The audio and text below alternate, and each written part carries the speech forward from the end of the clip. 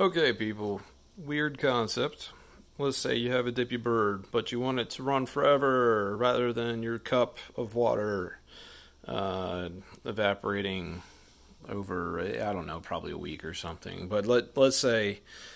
Let's say you take a dippy bird and you stick it in a giant body of water, like this bucket I have here filled partially with water, and then you tape uh, weight on the bottom. That's a drill bit I have. I use plastic tape right now. That would obviously fall off after a while. This is a um, tube uh, pipe insulator um, used as a float, and um, you want it so that the the majority of the buoyancy of the float is in the back, behind the um, on the bird's back, so that oh, there he goes so that the, the beak is in the front. Um, and the other thing is you could probably, uh, in the future, you would probably want to do a 3D printed design of this with, um, that's a, that's a copper drill bit though. It has a significant amount of weight. Um, but you could insert the bit or insert a weight or whatever in the print, have it be a pretty print, put, um, you know, make it look like a swan. Uh, you could also possibly add some, uh, uh, what do you call it, airfoil um, water wings, such that as it dipped down, it would actually have forward velocity um, in order to get it to travel across the body of water, just based on the evaporation of the water off of its head.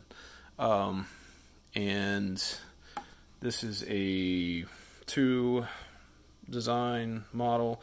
Uh, what will happen is typically we'll synchronize where one goes and then the other will go uh, based on the fact that uh, um, they always seem to happen at different rates. So one of them will end up going. Right now, it looks like that one's going to go, and then that one's going to go. Um, let's see if that's the case.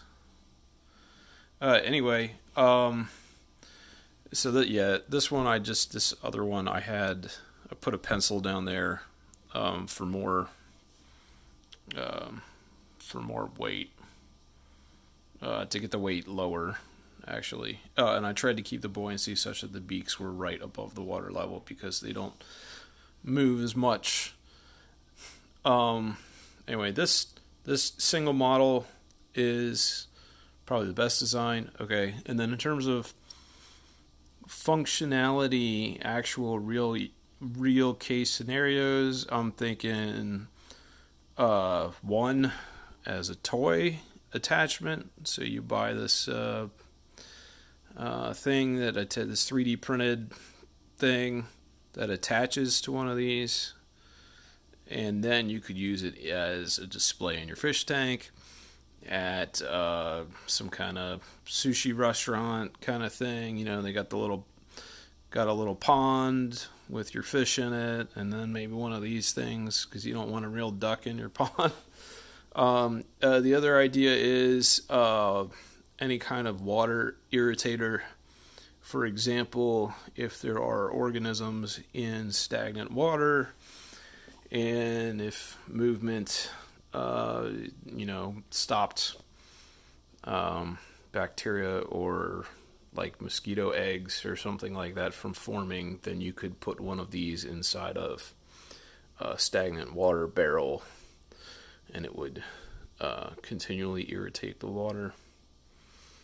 Um, that's all I gotta say.